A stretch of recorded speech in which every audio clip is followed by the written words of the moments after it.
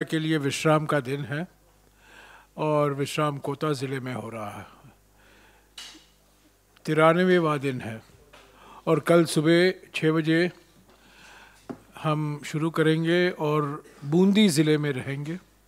कल परसों हम बूंदी ज़िले में रहेंगे और बारह तारीख को सवाई माधोपुर ज़िले में महिला शक्ति पद यात्रा होगा। यानी कि उस दिन सिर्फ़ महिलाएँ चलेंगी भारत जोड़ो यात्रा में। जैसा कि मैंने आपको पहले ही जानकारी दी है 19 तारीख को अलवर में एक विशाल रैली होगा।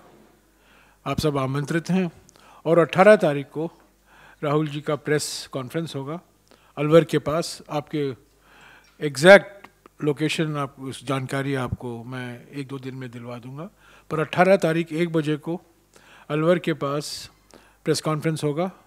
उनका आठवां प्रेस कॉन्फ्रेंस है और अगले दिन पब्लिक रैली होगी। अभी हम ये अनुमान लगा रहे हैं कि 24 तारीख रात को हम दिल्ली में आएँगे और सात आठ दिन हम दिल्ली में रुकेंगे और दो या तीन तारीख को फिर से भारत जोड़ो यात्रा की शुरुआत होगी। उत्तर प्रदेश, हरियाणा, पंजाब, जम्मू और कश्मीर। ये सात आठ दिन इसलिए आवश्यक हो गया है क्योंकि हमारे जो साठ कंटेनर हैं, उनकी रख रखाव होने की ज़रूरत है। मेंटेनेंस नहीं हुआ है पिछले नब्बे दिनों में। और एक दो और कंटेनर की ज़रूरत पड़ेगी। और जैसा कि आप जानते हैं, हम अभी विंटर के मौसम में हैं और कंटेनर में कुछ हमें व्यवस्था करनी पड़ेगी, क्योंकि हम ऐसे इलाके में जाएँगे जहाँ तापमान तीन डिग्री, चार डिग्री, पाँच डिग्री रहेगा। तो समय लगेगा। नोएडा में इसका रख रखाव होगा मेंटेनेंस होगा। जो कुछ काम करना है। मेरे मिसाल के तौर से कल मेरे पलंग वो टूट गया और मेरे कंटेनर में नल भी काम नहीं कर रहे थे। तो हर एक कंटेनर में ऐसी समस्याएँ हैं। तो हमने सोचा एक साथ ही सभी कंटेनरों का मेंटेनेंस हो। सात आठ दिन लगेंगे और हम उम्मीद रखते हैं कि दो तारीख या तीन तारीख मोस्ट प्रोबेबली तीन तारीख सुबह भारत जोड़ो यात्रा की शुरुआत फिर से होगी। मैं आज आपको दो फ़िल्म देखना चाहता हूँ। एक फ़िल्म जो हमने बनाई है, भारत जोड़ो यात्रा की एक थीम पर। जैसा कि आप जानते हैं, भारत जोड़ो यात्रा के तीन बड़े थीम हैं। एक, आर्थिक विषमताएँ, दूसरा, सामाजिक ध्रुवीकरण और तीसरा राजनीतिक तानाशाही। ऐसा तो देखा जाए, एक रनिंग थीम है भारत जोड़ो यात्रा का, पिछले इक्यानवे, बानवे दिनों से। ये रहा है कि अनेकताओं का जश्न मनाओ, ताकि हमारी एकता और मज़बूत हो। यही विचारधारा प्रचार कर रहे हैं कि जब हम अनेकताओं को दबाएँगे, एकता कमज़ोर होगी। जब हम एकताओं, अनेकताओं को स्वीकारेंगे, अनेकताओं को पहचानेंगे, अनेकताओं को सम्मान देंगे और अनेकताओं का जश्न मनाएँगे, तब एकता भी साथ साथ मज़बूत होगा। तो इन, ये तो एक थीम है, बड़ा थीम है सारे भारत जोड़ो यात्रा में। तो आज मैं आपको दो फ़िल्म रिलीज़ करा रहे हैं। एक तो महँगाई पर है, जो आर्थिक विषमताओं से जुड़ा हुआ है। आर्थिक विषमताओं के थीम में महँगाई है, बेरोज़गारी है जीएसटी है, जो अर्थव्यवस्था एक दो पूंजीपतियों के हाथ में आ रहा है, वो भी एक थीम है। पर महँगाई को लेकर एक हमने फ़िल्म बनाया है, जिसका हम प्रचार कर रहे हैं भारत जोड़ो यात्रा में। और दूसरा एकता के थीम में, जो जैसा कि मैंने ज़िक्र किया, एकता, नफ़रत छोड़ो, भारत जोड़ो, अनेकताओं को मनाओ एकता को मज़बूत करो। उस थीम को लेकर हमने एक छोटा फ़िल्म बनाया। तो आज हम ये दो फ़िल्म रिलीज़ कर रहे हैं। आप इसको देख लीजिएगा। उसके बाद में आप, आपके सवाल जो होंगे, मैं उनका जवाब दूँगा। चलो यार, शुरू करो यार, जल्दी।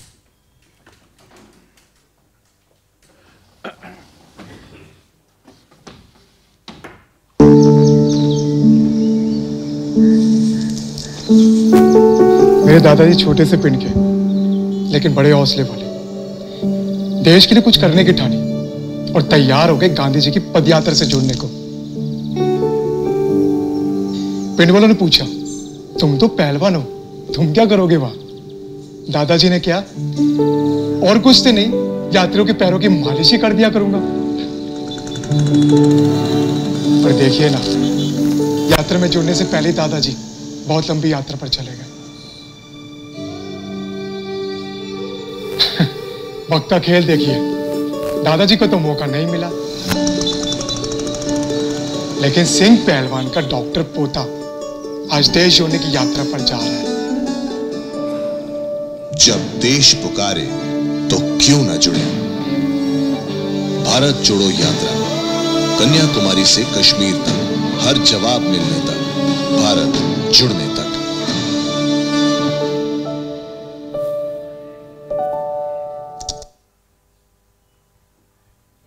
रोज काम से आते हैं और रोज महँगाई का रोना। कमाई तो बढ़ी नहीं तो हर महीने राशन के सामान में कटौती। मुझसे कहते हैं, चिंता मनी, ऐसे ही चलाना पड़ेगा। मैंने कहा, बहुत हुआ। जो चिंता मनी रसोई की चिंता करती है, अब उसे ही महँगाई की चिंता भी करनी पड़ेगी। अब चिंता नहीं चलेगी, चिंता मनी चलेगी। हर चूल्हे की चिंता मिटाने के लिए, महँगाई घटाने के लिए जब महँगाई सताए तो क्यों ना जुड़े? भारत जोड़ो यात्रा। कन्याकुमारी से कश्मीर तक, हर जवाब मिलने तक, भारत जुड़ने तक।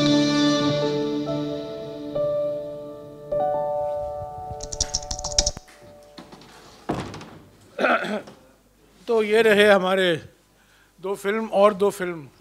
अगले चार पाँच दिनों में रिलीज़ करेंगे। एक बेरोज़गारी पर और एक महिलाओं और युवकों के लेकर उस मामले में। तो इसको डिस्ट्रीब्यूट कर दोगे? हाँ सबको डिस्ट्रीब्यूट कर देना। तो क्या सवाल है, बताइए। हाँ बताइए।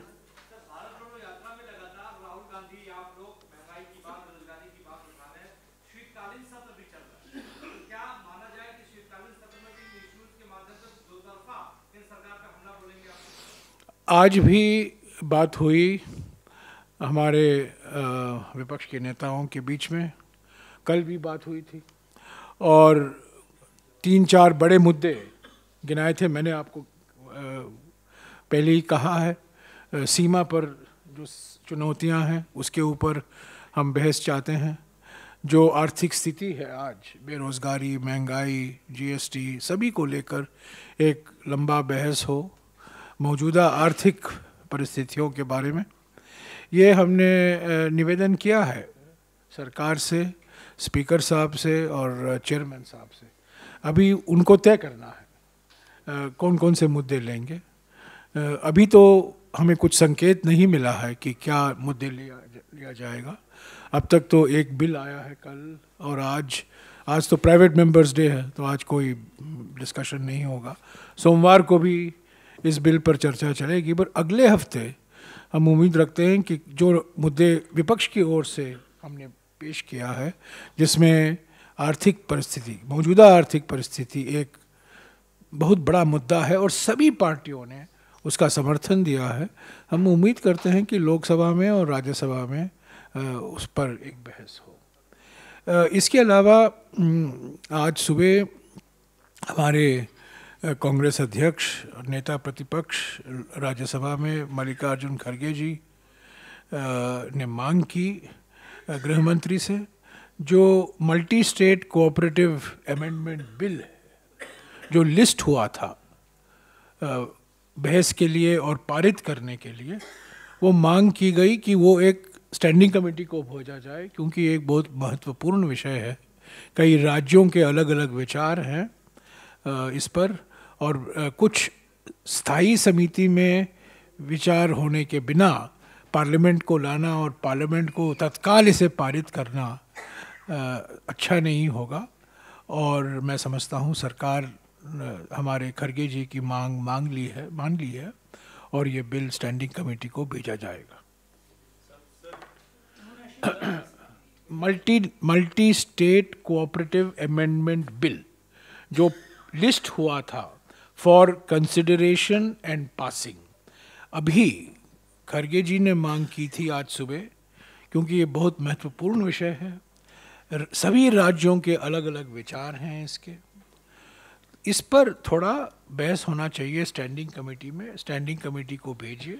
स्टैंडिंग कमेटी ऑन होम को जाएगा, क्योंकि अभी गृह मंत्रालय से जुड़ा हुआ है, सहयोग मंत्रालय।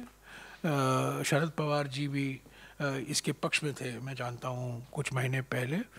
और मेरी जानकारी के मुताबिक आज सरकार ने खरगे जी की मांग मान ली है और ये बिल स्टैंडिंग कमेटी को रेफर होगा।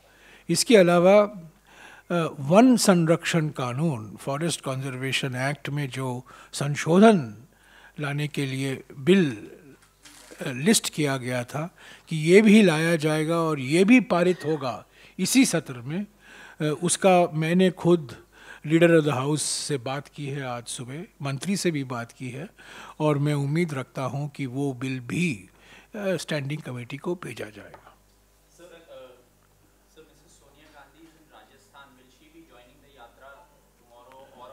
I think she is, to the best of my knowledge and information, she's celebrating uh, her 76th birthday today.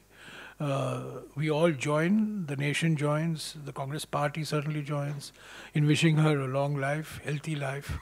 Uh, she's on a private holiday, and I think uh, I have I have no information whether she will join tomorrow or whether she'll join on the 12th. Uh, it's possible that she will join on the 12th. It's possible, but I have no information. It's a private holiday. And I think it's best, you know, public personalities are entitled to private moments. And I would urge you to respect the privacy of public personalities also. Haji.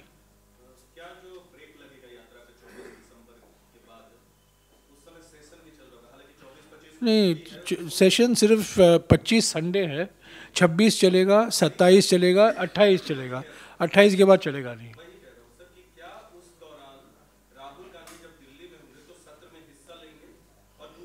वास्तविक है ना? अगर वो दिल्ली में हैं तो ज़रूर सत्र और सत्र चल रहा है। तो वास्तविक है कि वो पार्लियामेंट में जाएँगे। पार्लियामेंट का बहिष्कार नहीं कर रहे हैं वो। वो अभी भारत जोड़ो यात्रा में है। वो बहिष्कार नहीं कर, मैं खुद आज निकल रहा हूँ और मेरा हंड्रेड परसेंट रिकॉर्ड हुआ है पिछले अठारह सालों में। मैं भी कल नहीं था। तो ये कहना कि पार्लियामेंट से भाग रहे हैं कि पार्लियामेंट नहीं जा रहे हैं, ये गलत है। वो लगे हुए हैं जनता की समस्याओं को सुन रहे हैं। भारत जोड़ो यात्रा में एकजुट होकर सारे कांग्रेस नेता हैं राहुल जी हैं।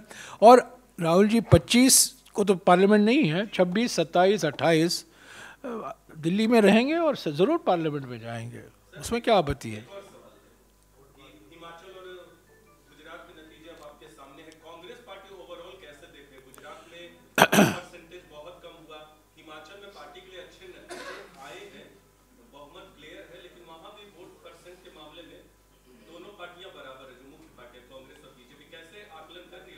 मैंने कल ही और खरगे जी ने और कई नेताओं ने इन नतीजों पर टिप्पणियाँ की हैं। मैं नहीं समझता हूँ इसको दोहराने की ज़रूरत है, पर मैं कहूँगा कि गुजरात में जो नतीजे आए हमारे लिए अत्यंत निराशाजनक हैं।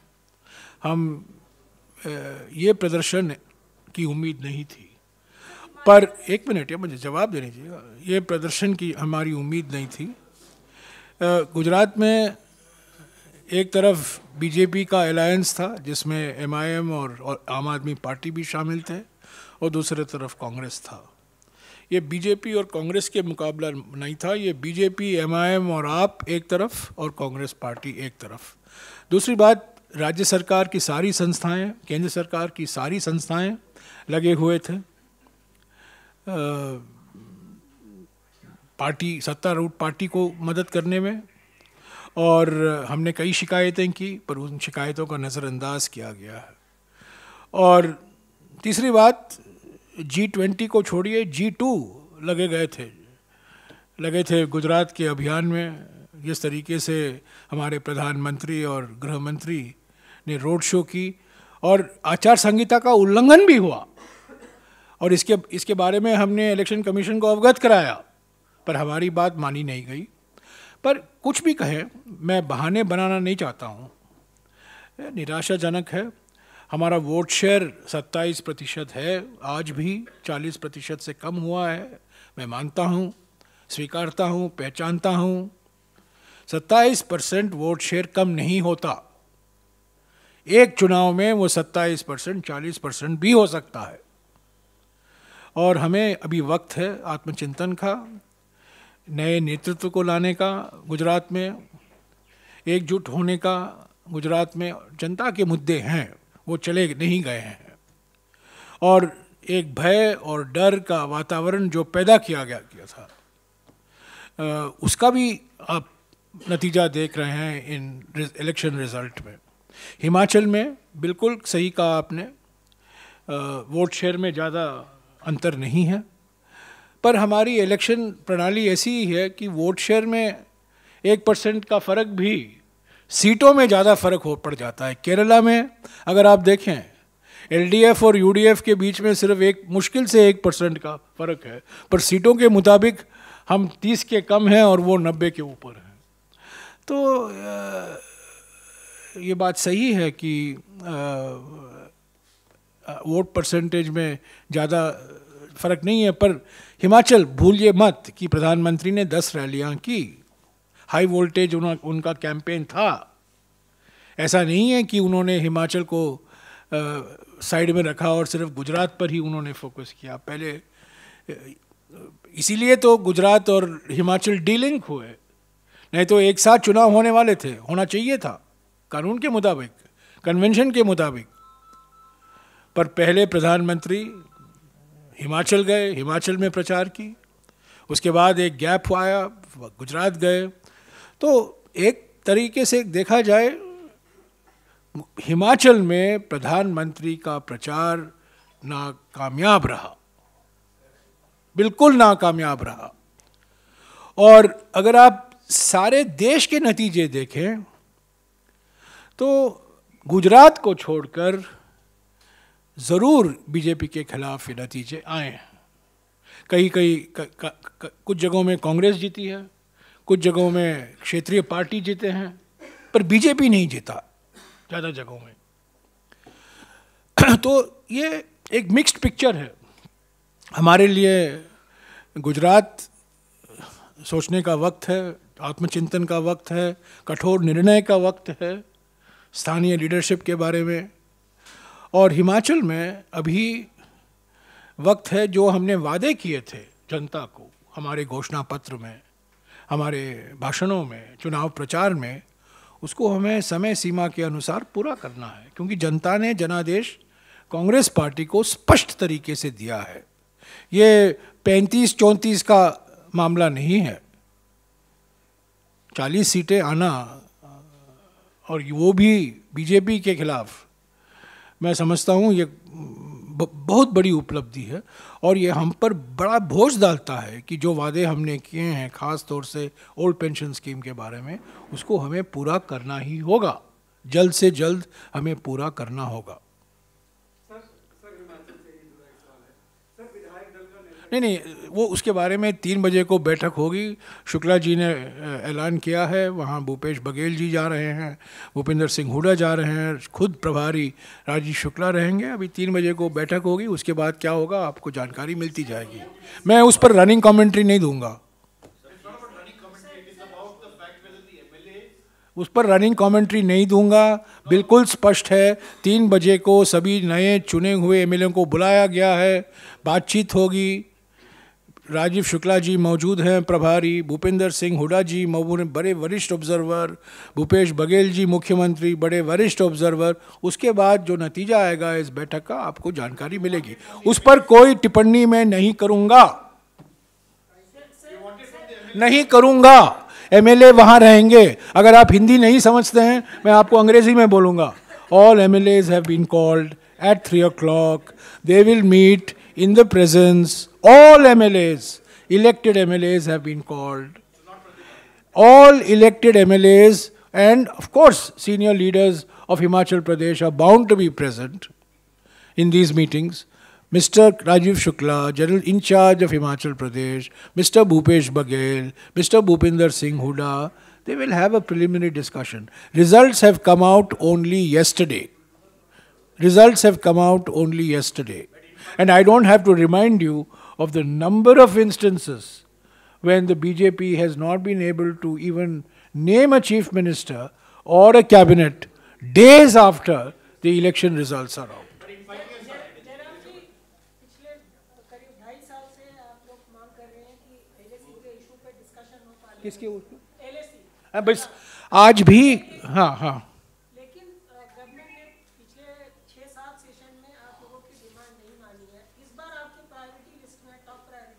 हमारी टॉप प्रायोरिटी एलएसी पर है। तो नहीं हमें सोचना पड़ेगा। हमने कल जो विपक्ष की पार्टियों के नेताओं की बैठक हुई उसमें मैं मौजूद नहीं था पर सारे पार्टी मौजूद थे आम आदमी मौजूद थे और टीएमसी भी था वहाँ। सभी पार्टी थे खरगे जी के कमरे में और जो उन्होंने इशू शॉर्टलिस्ट किए हैं उनमें से सबसे ऊपर है एलएसी का मुद्दा। और ये मांग हम बार आज भी हमने नोटिस दिया था आज सुबह राज्यसभा में एलएसी के बारे में, पर उसको स्वीकारा नहीं गया चेयरमैन की ओर से। हम दबाव बरकरार रखेंगे, पर मैं आपको ऑनेस्टली बता दूँ, सरकार 22 महीनों से टाल रही है। ये हम मांग कर रहे हैं 22 महीने से। और आज मैंने खुद जाकर कहा चेयरमैन साहब को, मैंने चेयरमैन साहब को याद दिलाया कि नवंबर 1962 के महीने में जब चीन का आक्रमण हो रहा था हमारे सीमाओं पर अरुणाचल में और लद्दाख में, पार्लियामेंट सत्र चल रहा था, बुलाई गई थी। और तत्कालीन प्रधानमंत्री और मंत्रिमंडल के कई सदस्य लोकसभा और राज्यसभा में बैठे थे, अपनी सरकार की आलोचना सुन रहे थे। तब के नेता जो थे, आचार्य कृपलानी, अटल बिहारी वाजपेयी, एन जी गोरे बड़े बड़े नेता थे। उन्होंने कड़ी आलोचना की सरकार की नीतियों के बारे में। चीन का आक्रमण चल रहा था और पार्लियामेंट सत्र में था। और ये देखिए, इस सरकार की नीति क्या है। चीन की सीमा हमारे एलएसी को बिगाड़ी है। स्टेटस को था जो मार्च 2020 में, वो आज नहीं है। पहले तो प्रधानमंत्री कहते हैं, कोई आया नहीं है, कोई हमारे ज़मीन पर बैठा नहीं है। और संसद में कोई मौका नहीं है। हमने ये भी सुझाव दिया कि रक्षा मंत्री विपक्ष के नेताओं को बुलाएँ, इन कैमरा मीटिंग करें, ब्रीफिंग करें अगर बहस नहीं चाहते हैं तो। वो भी नहीं हुआ। मैं फिर से दोहराता हूँ, मैंने कहा, इस मंच से मैंने दो तीन बारी कहा है, अगर बहस होगा इस मुद्दे पर यह गंभीर विषय है, ये संवेदनशील विषय है, हम सब जानते हैं। अगर एक बहस होगा, तीन घंटे की, चार घंटे की बहस होगा, एक सामूहिक संकल्प हम दुनिया को दिखा पाएँगे। एक सामूहिक संकल्प प्रदर्शन होगा। और आज भी मुझे समझ में नहीं आता क्यों सरकार बहस से भाग रही है। संकल्प का ड्राफ्ट तो वो तैयार करेंगे। मैं नहीं तैयार करूँगा। उनके लैपटॉप से आएगा। हम यहाँ, वहाँ शब्द, वहाँ जोड़ेंगे। मुझे आज भी समझ में नहीं आता, हर एक विपक्ष पार्टी इसके पक्ष में है कि जल्द से जल्द एलएसी पर जो स्थिति है, और सरकार क्या कर रही है उसके बारे में? क्या बातचीत चल रही है चीन के साथ? जो सीक्रेट है, सीक्रेट रखिए। पर बहस तो होना चाहिए। ये देश के साथ धोखा हो रहा है इस विषय पर।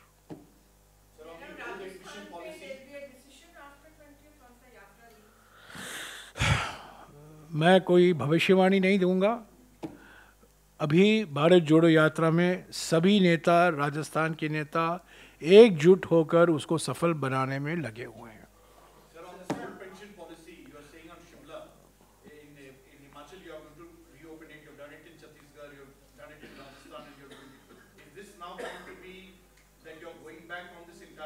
We will implement old pension scheme in Himachal Pradesh. It is a stated pledge of all our leaders. It's part of our manifesto. It has been said by the Congress president. It has been said by all our leaders.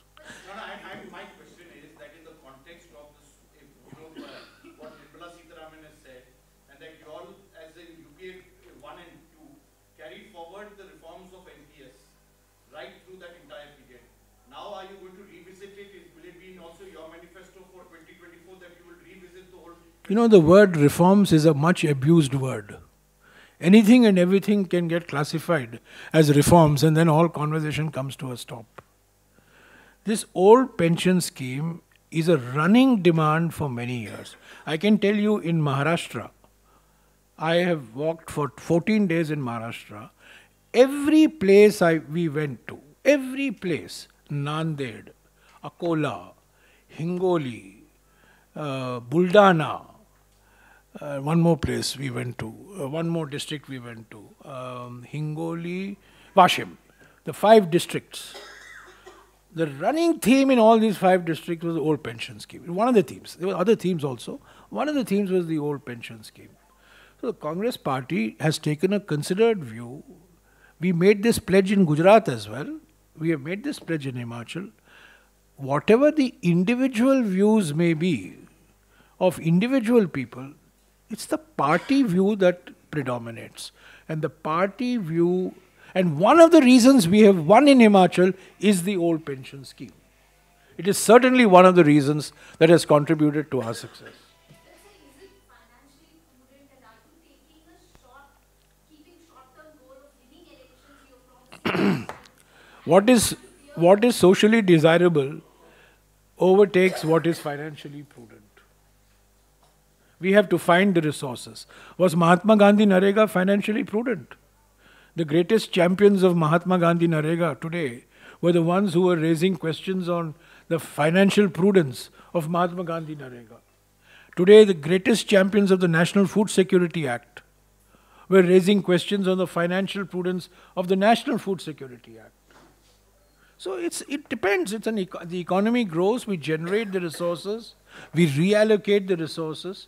But the old pension scheme, because remember, Himachal is a state where the bulk of the employment is in government service, government. It's not like any other state. It's a, it, it- there are some states like Himachal, but Himachal is a, is a, is a special category in that regard. So in Karnataka also you'll revisit, I have no idea about the manifesto of Karnataka. It is, I'm sure, being popular. It depends on the state leadership. We're not fighting it. We are, we are fighting state elections now. क्या गुजरात में नहीं नहीं मैंने मैंने कहा ना यार आप मेरे शब्दों को बाइसेट करो ट्राइसेट करो क्या निकालना चाहते हो मेरे शब्दों से मुझे समझ में नहीं आता मैंने कहा गुजरात में अत्यंत निराशाजनक है हमारे उम्मीदों से बहुत कम है कम नहीं बहुत कम इससे और ज़्यादा मैं क्या कह सकता हूँ? और हिमाचल में हम जीते हैं। ये बात सही है कि वोट परसेंटेज के आधार पर ज़्यादा फ़र्क नहीं है। पर दस रैली होना प्रधानमंत्री का प्रधानमंत्री का बार बार जाना। और ये मत भूलिए, हिमाचल प्रदेश भारतीय जनता पार्टी के अध्यक्ष का गढ़ है। वो मुख्यमंत्री के एक दावेदार थे। और एक और कैबिनेट मंत्री हैं, जिन्होंने हमारे देश को गोली मारो का नारा दिया था, वो भी हिमाचल प्रदेश के हैं। ये दो दिग्गज नेता हिमाचल प्रदेश के हैं। ये गोली मारो का जवाब है, भारत जोड़ो।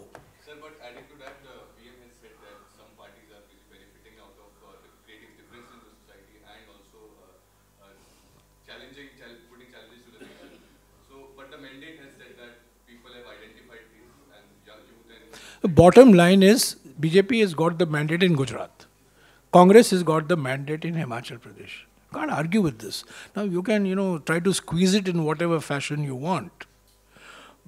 But I have accepted the fact that the mandate in Gujarat, that the result in Gujarat was deeply disappointing for the Congress party. It's a very sad reflection on the state's organization.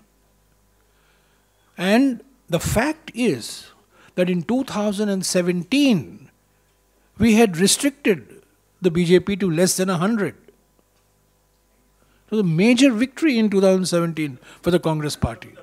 But, wait a minute. Let's also have a sense of history on Gujarat. In 1980, we got 141 seats. And with 141 seats in 1985, we got 149 seats. So, okay, they've got more than 149. But you know, some of the some of my friends in the media have just lost all sense of history. Historic, unprecedented, revolutionary. You forget 141 in 1980. You forget 149 in 1985. And uh, I forget the other years. I'm talking of the years in which we have got the mandate over 140. So let's have a sense of perspective. The BJP has won handsomely in Gujarat. It has lost, I would say, it has lost miserably in Himachal, given the campaign that the Prime Minister and Mr. Nadda personally did, and Mr. Anurag Thakur. All three of them have contributed to their defeat in Himachal Pradesh. मैंने आपको कहा ना, पहले ही कहा कारण मैंने आपको बताया। गुजरात में चुनाव कांग्रेस और बीजेपी के खिलाफ नहीं थी। कांग्रेस एक तरफ़, आम आदमी पार्टी एमआईएम और बीजेपी एक तरफ़। आम आदमी पार्टी और एमआईएम गुजरात में कांग्रेस बीजेपी के इनफॉर्मल घटक दल थे। कुछ फॉर्मल घटक दल होते हैं, कुछ इनफॉर्मल घटक दल भी होते हैं। ये गुजरात में ये इनफॉर्मल घटक दल है।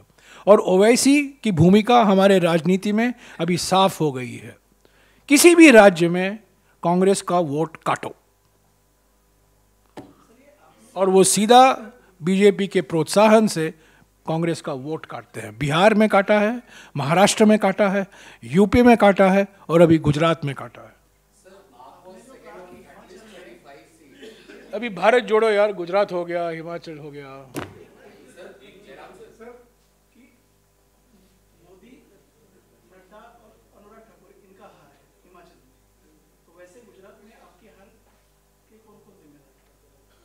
मैंने कहा साफ़ कहा, हमारे लोकल लीडरशिप हमारे लोकल लीडरशिप हमारे लोकल लीडरशिप में बहुत कमियाँ रही। हमारे प्रचार में कमियाँ ज़रूर दिखाई दी। पर मैं एक बात कह दूँ, ये एक संदर्भ में हुआ है। एक डर और भय का वातावरण पैदा किया गुजरात में। कई लोग वोट नहीं दे पाए। वोटर सप्रेशन हुआ। और जो लोग हमेशा कांग्रेस को वोट दिया करते थे, या वोट देने नहीं आए, या वोट एमआईएम या आम आदमी पार्टी को दिया। ये भी सही है। तो इसीलिए मैंने कहा कि ये दो पार्टियाँ बीजेपी के इशारे से गुजरात के चुनाव लड़ रहे थे। नहीं नहीं, बिल्कुल नहीं। बिल्कुल नहीं। बिल्कुल नहीं। बिल्कुल नहीं। बिल्कुल नहीं। बिल्कुल नहीं। भारत जोड़ो यात्रा अलग है, ये चुनाव अलग है। चुनाव में जो चुनावी प्रक्रिया होती है, ये राष्ट्रीय चुनाव नहीं है। ये बात एक चीज़ समझिए। ये विधानसभा के लिए और विधानसभा के लिए कितना भी प्रचार केंद्रीय नेता करें, केंद्रीय व्यक्ति करें, अल्टीमेटली लोग स्थानीय लीडरशिप को देखते हैं। और गुजरात में कमियाँ रही हैं। और उसको हमें देखना पड़ेगा, सुधारना पड़ेगा। क्योंकि 2017 के चुनाव को अगर आप देखें, कांग्रेस का प्रदर्शन शानदार प्रदर्शन था। अगर हम सूरत में अच्छे करते, हमारी सरकार भी बन जाती 2017 में। 2017 और 2022 के बीच में जो कमजोरियाँ आई हैं, हमें उस पर गहरा चिंतन करना है उनकी, उसकी समीक्षा करना है। पर 27 प्रतिशत वोट शेयर से वापस 38 या 40 परसेंट आना एक चुनावी कार्यकाल में हो सकता है। 10-15 साल नहीं लगते हैं। दस पंद्रह साल लगते हैं, दस परसेंट से पैंतीस परसेंट जाना। पर सत्ताईस परसेंट से अड़तीस परसेंट या चालीस परसेंट जाना आप पाँच साल में कर सकते हो। और मैं आज भी कहता हूँ, अगले चुनाव में आप देखेंगे, हमारा वोट शेयर वापस चालीस परसेंट आएगा सर आपने बोला था कि राहुल जी की यात्रा जो है कि दिल्ली में थोड़ी रहेगी और फोर्टी थ्री किलोमीटर चले अब जैसे आप बता रहे छः सात दिन रहेगी तो क्या किलोमीटर इसमें बढ़ेगा नहीं नहीं, चौबीस से दो तारीख को कोई पद यात्रा नहीं है। चौबीस से दो तारीख को भारत यात्री अपने घर जाएँगे, मैं भी अपना घर जाऊँगा, राहुल जी अपने घर जाएँगे, सब लोग अपने अपने घर जाएँगे। दो तारीख को अभी हम एक्सपेक्टेशन हम अनुमान है कि हम दो तारीख को वापस शुरू करेंगे। चलना शुरू, वापस शुरू। चौबीस रात से दो सुबह तक भारत जोड़ो यात्रा रहेगी, पर हम चलेंगे नहीं। हमारी पद यात्रा 24 तारीख रात को समाप्त होगी दिल्ली में और दो तारीख सुबह या तीन तारीख सुबह शुरुआत करेंगे वापस। और 27 और 30 तारीख के बीच में, जनवरी के 27 और 30 तारीख के बीच में हम श्रीनगर पहुँचने का प्लान है।